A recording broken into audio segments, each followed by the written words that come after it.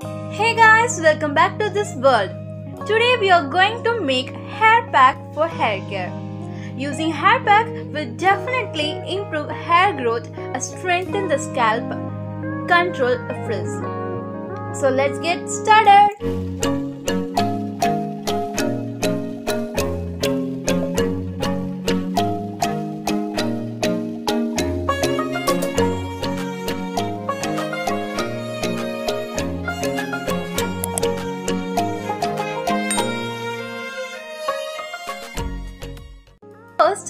Get some henna leaves, which is scientifically called as a Lawsonia inermis, and I have rinsed it well.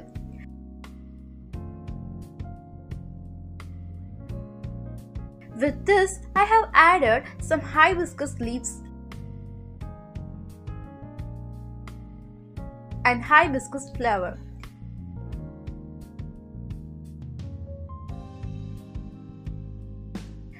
After this, grind it well.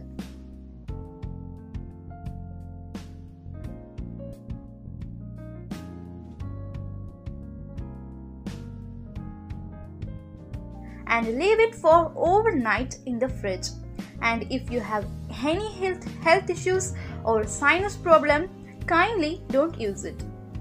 The next day, add one egg. If you don't want to smell bad, then add only white egg into it